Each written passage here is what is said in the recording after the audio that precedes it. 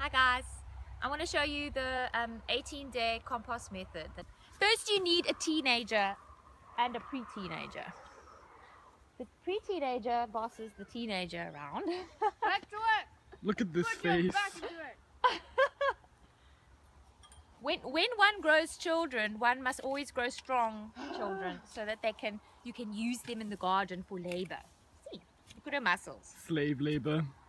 There it is.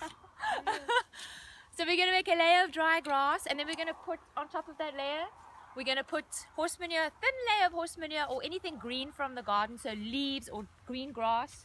And then another thick layer of dry grass and then another thin layer of horse manure uh, and something green until it gets to that height, about a meter high. And that's all. Basically you just need dry grass and green grass and a bit of horse manure if you can. Hmm. And you're going to see how nice this compost is going to look. Work! I have no idea what I'm doing. Work, slave. Back to it. Thanks. It's like four and a half. Hey guys, we're gonna turn this heap. This is day four. This is the heap we were telling you about. There's one thing I didn't tell you is that after you've made the heap, you must wet it. To be nice and wet. Then on day four, you turn the whole thing to get air inside and you wet it again. That's what we're gonna do now.